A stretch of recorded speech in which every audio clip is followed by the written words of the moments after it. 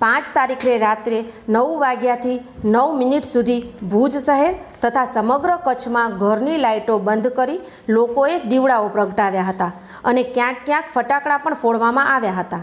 અને ભુજ શહેરમાં જબરજસ્ત ઉત્સાહ જોવા મળ્યો હતો.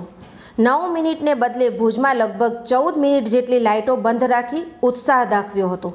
ભારત માતા કી જયના નાદ સાથે લોકોએ થાળી, ઢોલ વગાડ્યા હતા. ગુજરાતના મુખ્યમંત્રી સજોડે દીપ પ્રાગટ્ય કરી રહ્યા છે.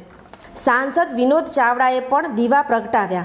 માંડવીના ધારાસભ્ય વિરેન્દ્રસિંહ જાડેજાએ દીપ જલાવ્યા. ગાંધીધામના ધારાસભ્ય માલતીબેન મહેશ્વરીએ દીપ પ્રગટાવ્યા. કચ્છ જિલ્લા પંચાયતના ઉપપ્રમુખ નિયતિબેન પોકારે પણ દીપ જલાવ્યા. ભુજ નગરપાલિકાના નગર અધ્યક્ષા લતાબેન સોલંકીએ દીવડા પ્રગટાવ્યા. ભચાઉ નગરપાલિકાના નગરપતિ કુલદીપસિંહ જાડેજાએ દીપ પ્રગટાવ્યા. ભુજ નગરપાલિકાના વિપક્ષી નેતા રાજેન્દ્રસિંહ જાડેજાએ દીપ જલાવ્યા. પૂર્વ ધારાસભ્ય પ્રદ્યુમ્નસિંહ જાડેજાએ પણ ઝરૂખામાં દીપ જલાવ્યા. પશ્ચિમ કચ્છ એસપી સૌરભ તોલંબિયાના ઘરનું દ્રશ્ય છે, જેમાં દીપ જલાવવામાં આવ્યા છે.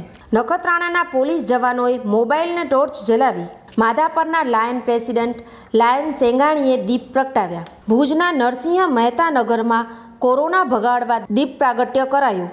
વ્યવસ્થા દર્શક અંતાણી, જયંતિભાઈ ડુડિયા, ઘનશ્યામભાઈ લાખાણીએ સંભાળી. ભુજ શહેરના નવ વાગ્યા પહેલાંના દ્રશ્ય જુઓ.